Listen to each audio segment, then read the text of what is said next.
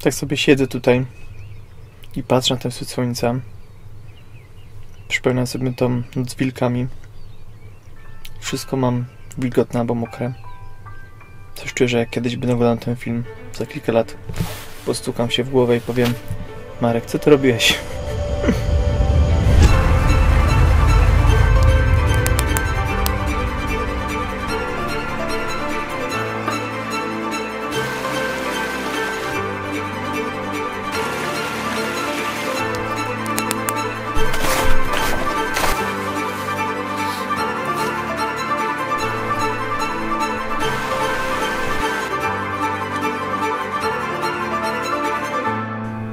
Gdzie ja jestem? I co ja tutaj robię?